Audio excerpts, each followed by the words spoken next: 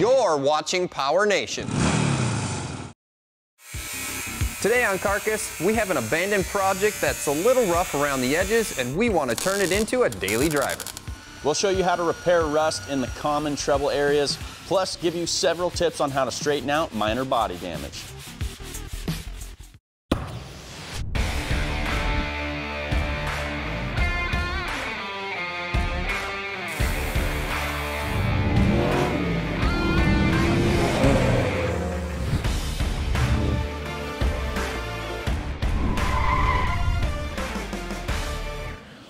What's up everyone? Welcome to Carcass. Today we have an OBS Chevy in the shop and although we did build one last season, this is for a very different purpose. This truck has a ton of miles, it has dents and dings, it has rust in a few places, and we want to use it as a platform to show you guys how you can fix something like this and bring it back in better condition.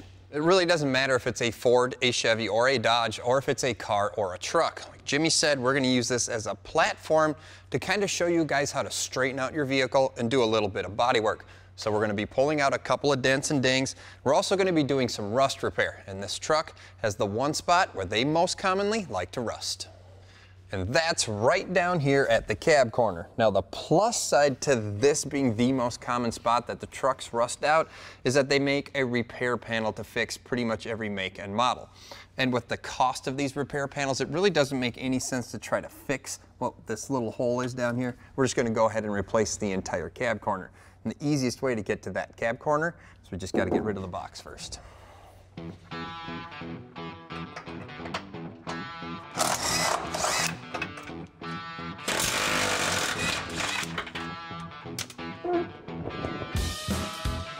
And if you don't have a cherry picker handy to get the bed off, just ask a couple friends, it's easy to take off.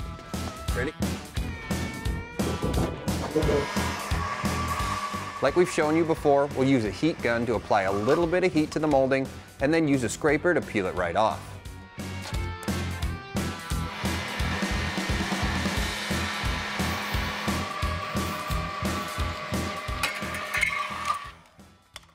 All right, now that we have the bed off, we can have a really good look at how much rust is down here in the cab corner. So that thing's pretty much shot. We picked up this replacement cab corner from Summit Racing, and the idea here is to only use what we need. So we're gonna come and cut this right at the body line. And the reason why we're doing it at the body line is when we go back to weld this together, we're gonna be adding a lot of heat to this thin sheet metal. Heat equals warpage, that equals more body work. But when you do some of your welding on a body line, it stays a little bit stronger, less warpage, less body work. So the idea here is we'll come across, cut this right here on the body line, get this all peeled off, and we'll get the new one put right back on.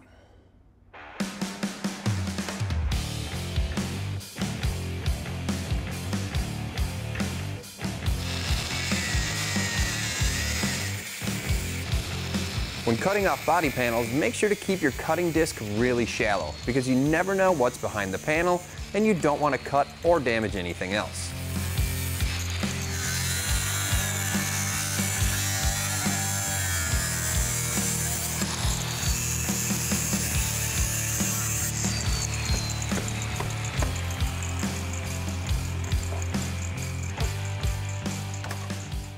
All right, we have the cab corner off. As you guys can see, there's a little bit of rust damage down here inside. We're not too concerned about that, but we will take care of it a little later. What I have to do yet is actually center punch all of the spot welds over here on the pinch weld areas, and then we'll have to just drill those out as well. We'll just keep moving right along here.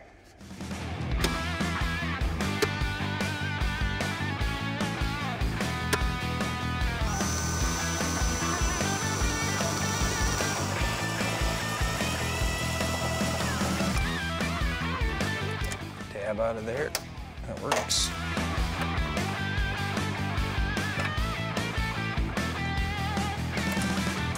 All right, guys, let's talk about the rust that's down here inside the cab area. Now, there's two ways to go about fixing this. If you guys are gonna restore the truck, what you could do is cut all of this out, but you probably would have to make your own repair panels because they don't make any patch panel for this.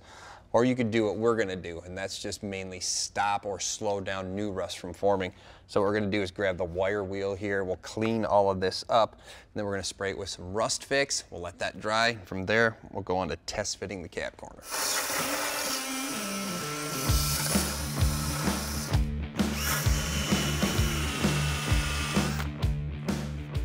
Okay, now that we have the rust all cleaned up, we're gonna go ahead and spray this with some rust fix. Um, I know this kind of looks like it is rust. It's not, it's actually some sound deadening that they sprayed from the factory. Um, so we'll go ahead and spray everything down here. We'll give it a couple of coats and then we'll move on to installing the cab corner. To treat this, we're using a couple coats of Duplicolors Rust Fix. All right, well now that we have the inside all taken care of, we can cut the new cab corner to fit. There's two ways you guys can do this can actually take the old piece that you cut out, lay it on top of your cab corner, trace and cut it out. Or what we did is we cut right here on the body line. So all I'm going to do is take the body line of the new cab corner, we'll come up about an eighth or a quarter of an inch, and we'll make our cut line there. That way, as I test fit it onto the truck, I can sneak up to our original cut line, and then we can get it to fit perfectly. So I'll head over to the bench, we'll cut this down to fit, and we'll get this thing welded on the truck. With our patch panels cut out, we'll show you how to make it fit like new.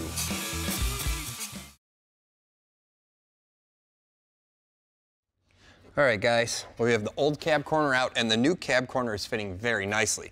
Now to get this prepped and ready for installation, we're gonna have to punch a series of holes in these two flanges here. We'll have to come back, take the E coating off of the panel, and we'll have to take the paint off of the truck. Then we'll fire up the welder and get this puppy installed. Yeah, that fits really nice.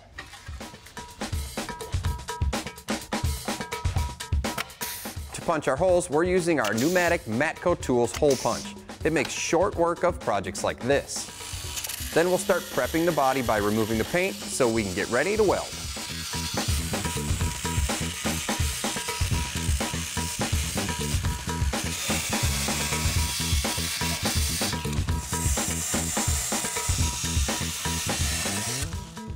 All right, guys, so the panel's in, test fit's done, and it's all prepped and ready to weld. A couple things you're gonna want. One, your welder, you're gonna want a low amperage. We're not looking for any type of structural welding here. We're just trying to hold two pieces of steel together. And two, and most importantly, you want a little tiny screwdriver. What you can do with this is actually get it up in between the two pieces of metal and shift it around. The closer you can get these parts to fit, the less body work you have to do. So that's what we're shooting for. Fits pretty good, so we'll go ahead and throw the helmet on, put a couple tacks into place. We'll start off with some nice small tacks, then we can always come back and adjust the welder from there.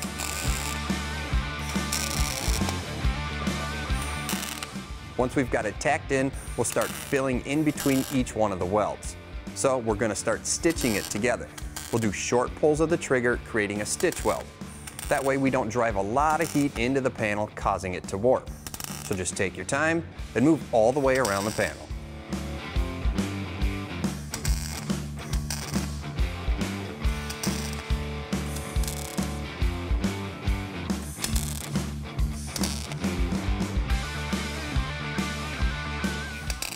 There, we'll fill in the holes with some rosette welds.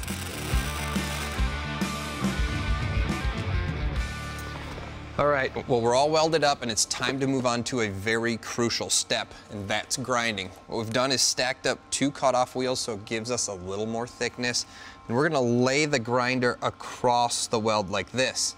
Now, as we grind, we're gonna pay attention to when we either touch the top or the bottom part of our metal, and then we're gonna stop or we're gonna move on quickly. What we don't wanna do is take too much material away and chance this cracking down the road.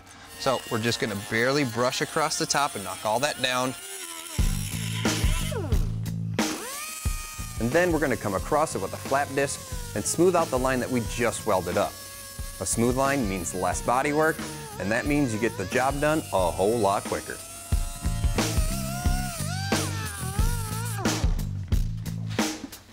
That should do that just fine. All right, well, we're all done grinding and it actually turned out pretty straight, but we are gonna add a little bit of body filler. Now, what I like to do is put some deep scratches into the steel here, and what that does is it helps the filler really bite and attach to the metal. So you can use sandpaper, anything from 36 to 80 grit. So we'll go ahead, sand this down a little bit, we'll mix up some mud and get it on the truck.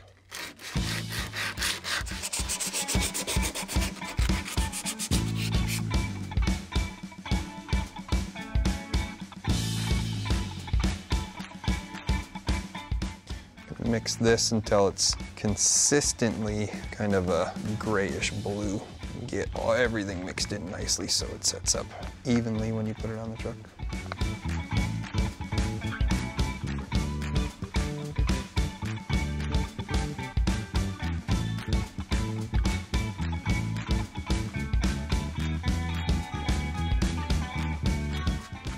With our body filler set up, it's time to start sanding. Now we're gonna do this in a couple of stages. We're gonna start with 80 grit.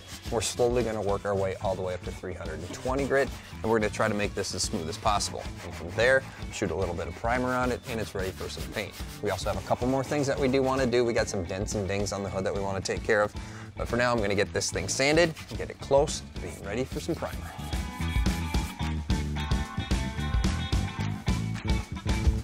Coming up, pesky dent repair that doesn't damage your paint.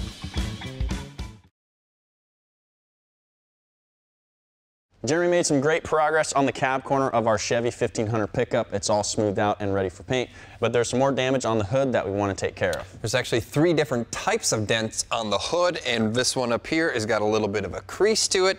This dent right here actually has some paint damage to it, but there's a dent over here that's kind of the run-of-the-mill dent. It doesn't have any paint damage at all, so we're gonna do some PDR or paintless dent repair to this one, and Jimmy actually has a pretty cool tool that's gonna help us take care of this.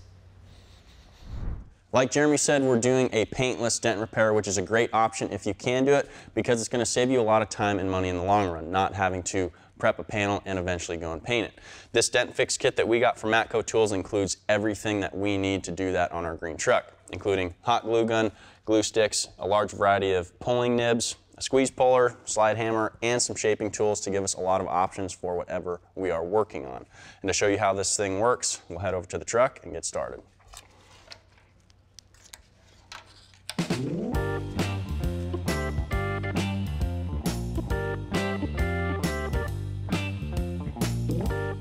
Right, so the idea here is you don't want to like really press it down against the panel. You want to leave about an eighth inch of glue between the nib and the panel.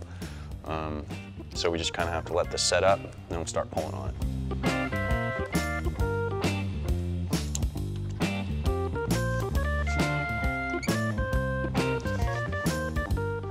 Okay, so another thing with this is that you don't want to just jam on the handle because you might pull the nib out or you might overdo um, pulling the dent out. So you just want to kind of watch it very carefully, just kind of massage it.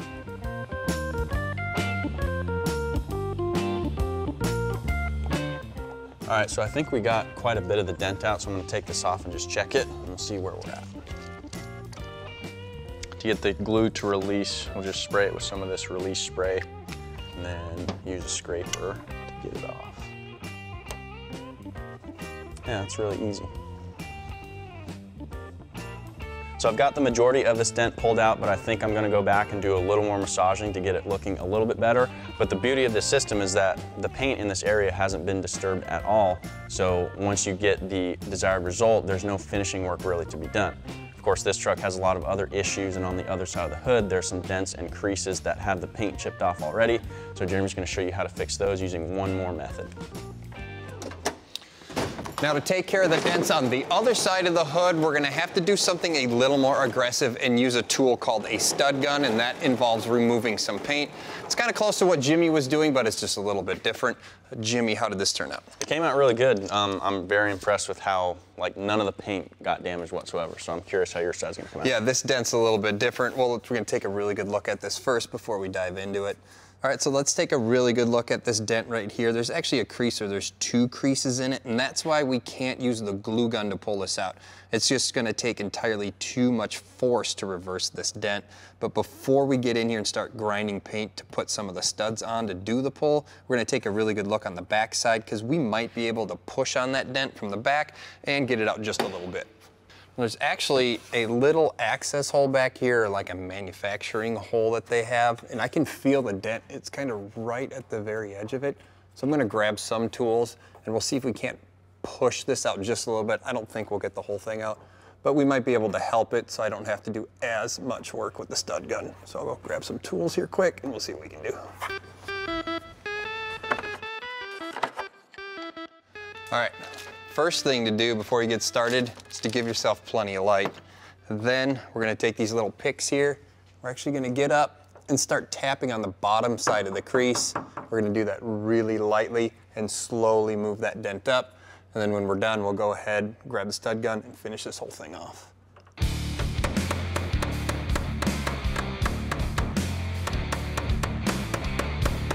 Well, the big thing is as you're doing it too, don't be afraid to check and see how it's going.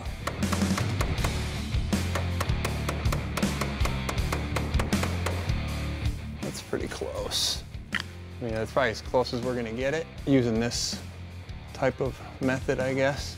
And from here, we use the stud gun because there's a low on this side. We still got a little high in the center and a low on this side. So what I'll end up doing is taking some of the paint off, and then we're gonna use the stud gun. We'll pull the lows back up, we'll tap the high down, and see how we look.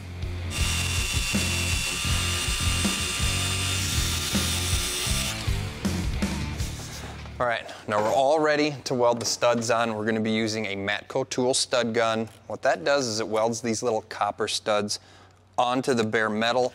So you just set it onto the spot where you like it or where you want it to be, push it down, pull the trigger. And what that does, that welds that stud onto the low spot. Now what we'll do is we'll weld a series of these studs onto this panel in a couple different areas. Then we'll come back, make a couple pulls, see how straight we can get this thing. Don't go away. We finished showing you how to straighten out minor body damage on your daily driver.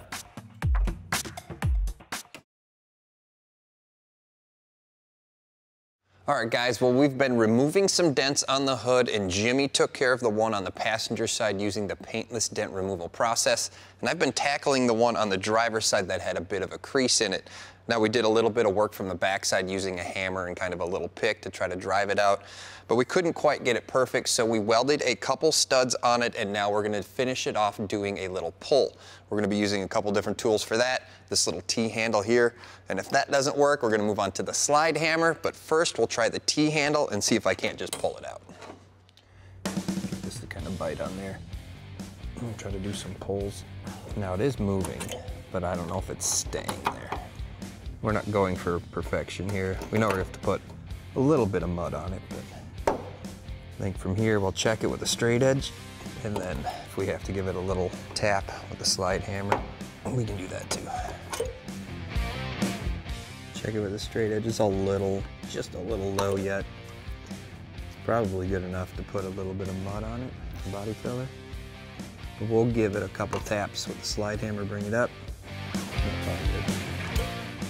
Now for the slide hammer, it's basically the same except we're just gonna kind of use it to jar the panel up, or a little dent, I guess.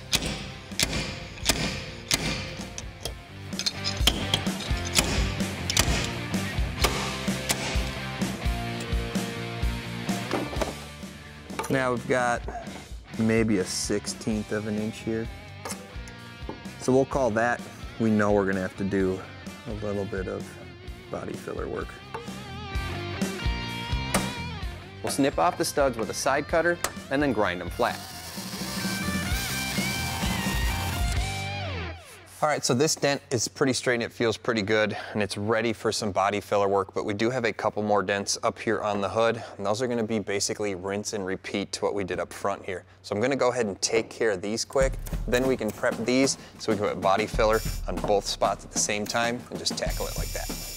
All right, well, we're all prepped and ready to put down some filler, and you guys are probably wondering why I have such a large area prepped around the two small dents that we took care of. But there is a reason for that.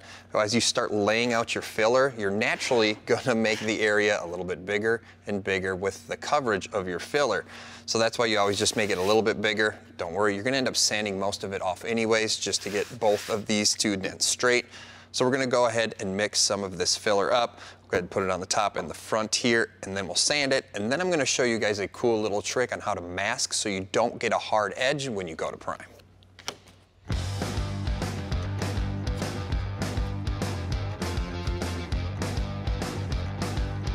Just like on the cab corner, we'll start with 80 grit and then work our way up to 320.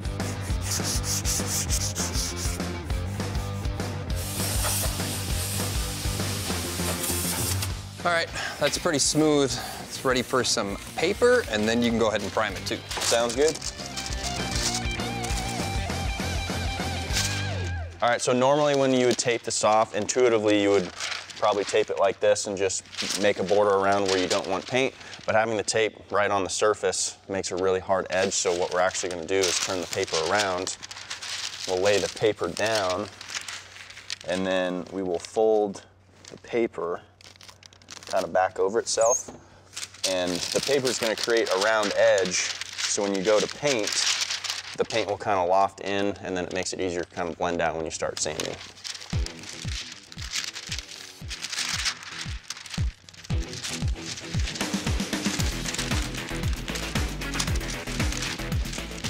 We're going with Duplicolors Primer Filler, which will give us a good base when we go back to finish it with paint a little bit later. That looks uh, really good, actually. Yeah, you did a nice job on the bodywork, so just uh, a couple more coats here and then we get it cleaned up. Yeah, that's the joys of using spray paint, right? All right, yeah. If you like anything you've seen, be sure to check out Power Nation TV.